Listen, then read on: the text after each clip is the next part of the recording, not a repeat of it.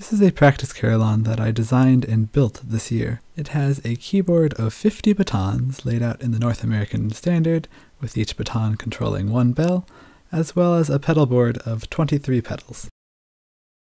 Here's the view of the instrument from the back, and let's have a look at how it's constructed and how it works. Up front are a bunch of aluminum tubes, which are held loosely in place with a bunch of fishing lines, allowing them to vibrate freely and produce a sweet sound. When a key is pressed, a little aluminum striker moves forwards and hits the bell, and we can see that again from the side. The strikers are connected to wooden squares and counterweights to give a more realistic feel.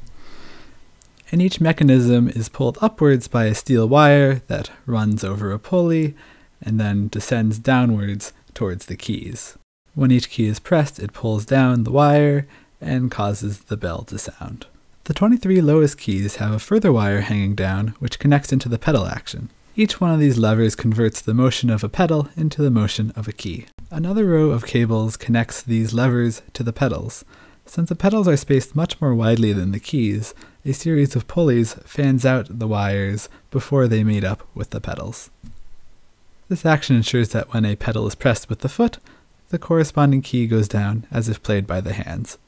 The instrument has a bit of a strange sound that I'm still working on improving, but it's been very useful for practice, and I'll show you what it sounds like right now.